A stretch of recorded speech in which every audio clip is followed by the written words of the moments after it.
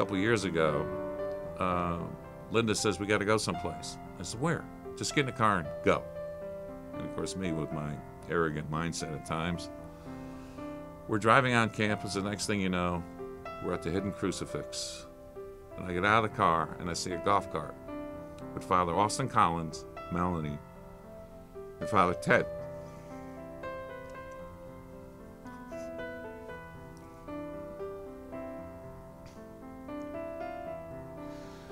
Start crying walking down when I see it. What was there was a bench with my name on it in the quotations to so many that I have touched. And my quote always has been the power of prayer is the will to win. That's what I tell people to say.